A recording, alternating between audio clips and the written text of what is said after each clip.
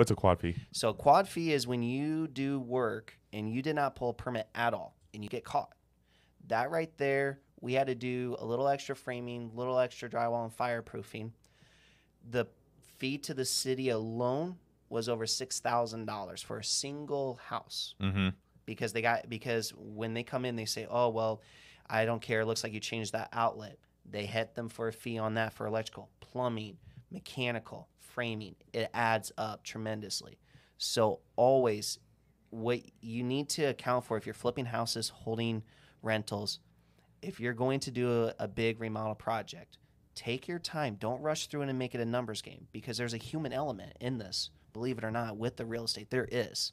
If you have good relations with a contractor, your life will be so much simpler.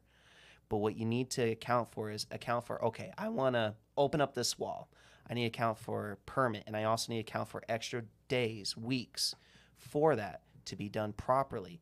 Account for that time on that extra holding cost, and you will be much better coming out ahead. And when you're interviewing your contractor, you know, tell them, hey, what's your class license? You know, that you got class A, you got class B, you got class C, and you got class E. About 95% of contractors here are class E.